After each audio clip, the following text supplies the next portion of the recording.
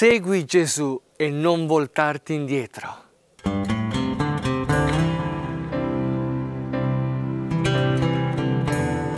Cristo risorto! Buona domenica carissimi amici! Ascoltiamo il Vangelo di oggi che è Luca 9, 51, 62. Mentre stavano compiendosi i giorni in cui sarebbe stato elevato in alto, Gesù prese la ferma decisione di mettersi in cammino verso Gerusalemme e mandò messaggeri davanti a sé. Questi si incamminarono ed entrarono in un villaggio di Samaritani per preparargli l'ingresso. Ma essi non vollero riceverlo perché era chiaramente in cammino verso Gerusalemme. Quando videro ciò, i discepoli Giacomo e Giovanni dissero, Signore, vuoi che diciamo che scenda un fuoco dal cielo e li consumi? Si voltò e li rimproverò e si misero in cammino verso un altro villaggio. Mentre camminavano per la strada, un tale gli disse, ti seguirò dovunque tu vada. E Gesù gli rispose, le volpi hanno le loro tane e gli uccelli del cielo i loro nidi, ma il figlio dell'uomo non ha dove posare il capo. A un altro disse, seguimi. E costui rispose, Signore, permettimi di andare prima a seppellire mio padre. Gli replicò, lascia che i morti seppelliscano i loro morti, tu invece va e annuncia il regno di Dio. Un altro disse, ti seguirò, Signore, prima però lascia che io mi congedi da quelli di casa mia. Ma Gesù gli rispose, nessuno che mette mano all'aratro e poi si volge indietro è adatto per il regno di Dio. Amen. Carissimi, oggi abbiamo ascoltato in questo capitolo nono del Vangelo secondo Luca un momento fondamentale nel ministero di Gesù, quando lui decide fermamente di andare a Gerusalemme. E conosciamo nella nostra scuola biblica, dagli studi fatti su questo Vangelo, che il desiderio di Gesù in questo Vangelo è di andare a Gerusalemme perché è lì che si realizzerà la promessa del Padre di salvare tutti gli uomini per mezzo del suo figlio Gesù. Ecco perché Gesù si dirige con decisione e proprio in questo cammino vengono e si presentano tre persone che dicono a Gesù io ti voglio seguire, io sono attratto dalla tua parola, dal tuo insegnamento, voglio venire dietro a te. E allora vediamo che il primo dice ti seguirò dovunque vada e Gesù dice guarda che io non ho dove porre il mio capo. Sappi che non saprai dove sto per andare, perché un giorno vado di qua, un giorno vado di là. Il cammino incontro a Gesù e verso Gesù è un cammino dove noi ci lasciamo guidare dalla provvidenza. La seconda persona accoglie l'invito di Gesù quando gli dice seguimi, però risponde dicendo Signore permettimi di andare prima a seppellire mio Padre. Ecco, un impedimento potremmo dire giustificato, un impedimento giusto per non andare dietro a Gesù. Ma Gesù dice, lascia che i morti seppelliscano i loro morti, tu va e annuncia il regno di Dio. Chiaramente qui Gesù sta facendo vedere, e l'Evangelista Luca, a tempo stesso, che seguire Gesù è una priorità sopra ogni cosa. Infine, un'altra persona dice a Gesù, ti seguirò Signore, però lascia che io mi congedi da quelli di casa mia. Lascia che io prima sistemi tutte le cose. E Gesù risponde dicendo, nessuno che mette mano all'aratro e poi si volge indietro è adatto per il regno di Dio. Fratelli e sorelle, in queste tre chiamate, tre persone diverse, noi vediamo un, anzi due motivi essenziali, la chiamata e l'ostacolo alla chiamata.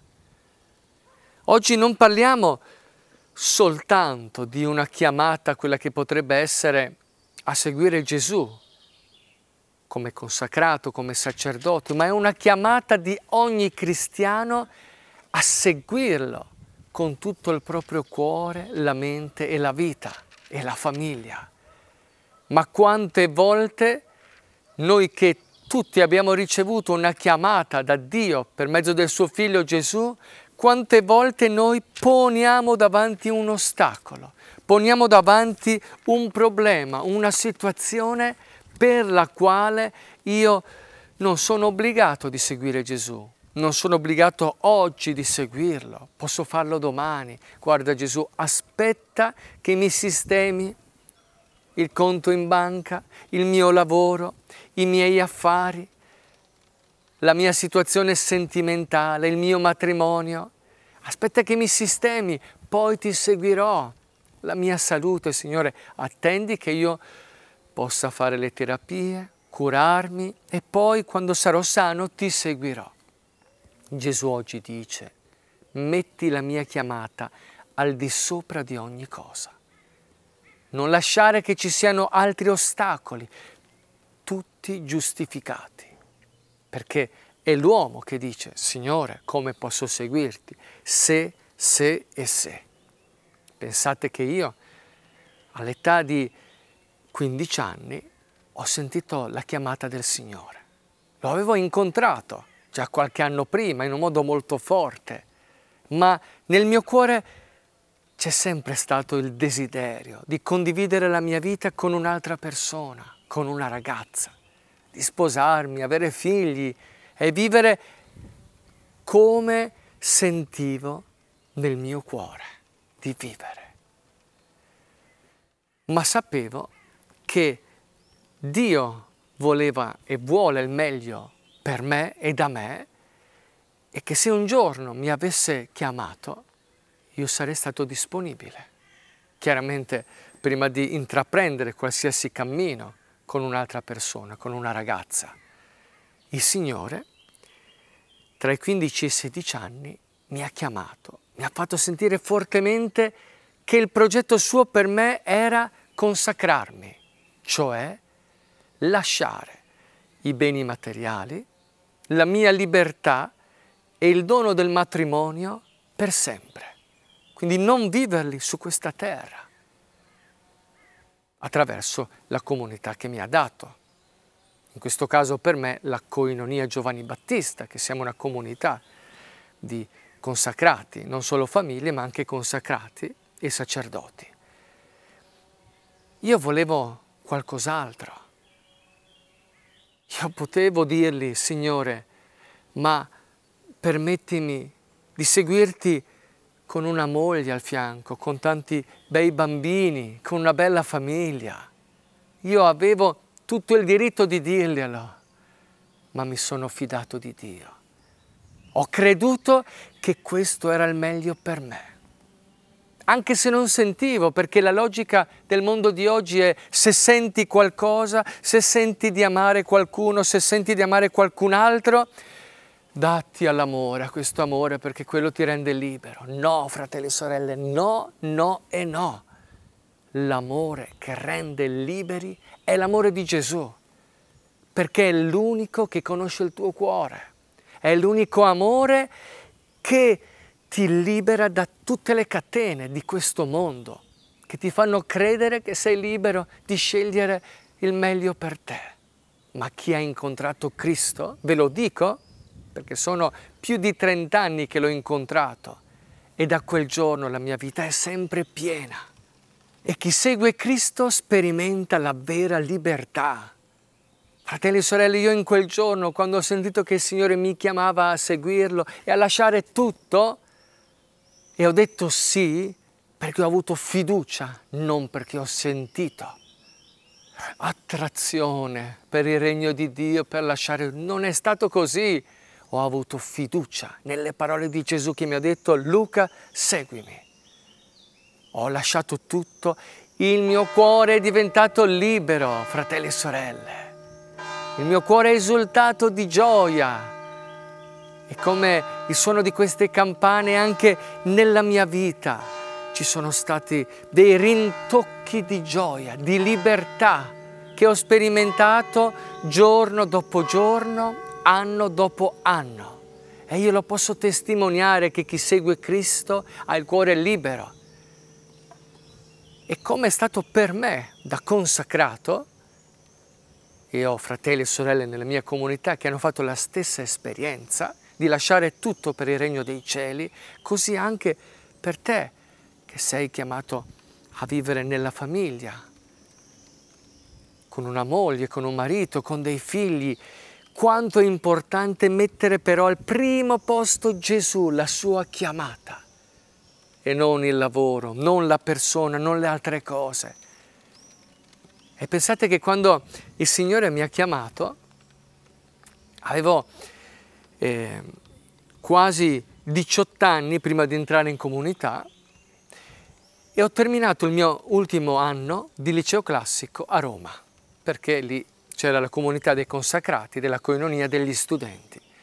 I miei genitori, abitavo vicino a Vicenza, mi hanno accompagnato alla stazione, mi hanno messo in treno e io sono partito per Roma.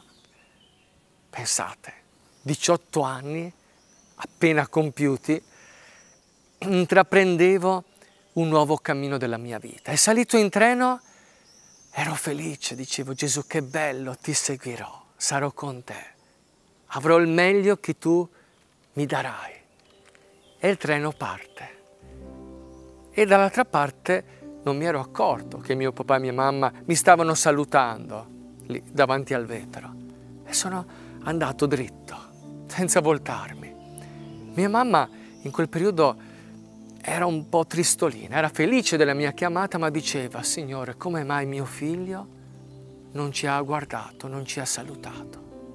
E qualche tempo dopo, durante la sua preghiera personale, il Signore le ha dato questa parola. Nessuno che mette mano all'aratro e poi si volge indietro è adatto per il regno di Dio. E mia mamma ha detto, Signore, grazie perché mio figlio Luca è deciso a seguirti e non si volge indietro. E così è, cari amici. Allora chiediamo al Signore il dono di seguirlo, senza dubbi, senza esitazioni.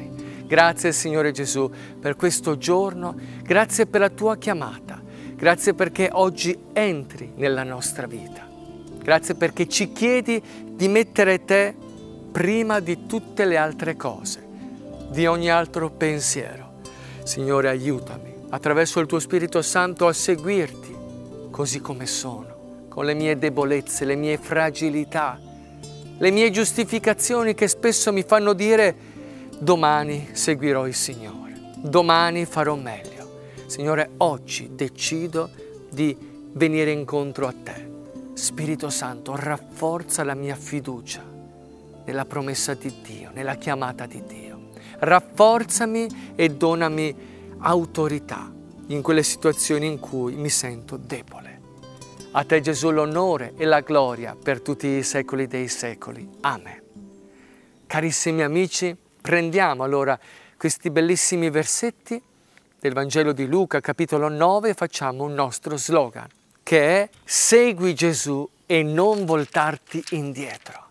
Anche oggi, non domani, non dopodomani, seguiamo Gesù mettiamo da parte le giustificazioni, ogni impedimento ed ostacolo e avremo la pienezza che solo Dio ci può dare, perché solo Dio conosce la nostra vita, i nostri segreti, il nostro cuore. Amen. Grazie che mi avete accolto, ci vediamo domani. Ciao. Cristilen e qui viene a giocare. Cristilen, la terra di Gesù. Cristiland e qui viene a giocare. Cristiland, vedrai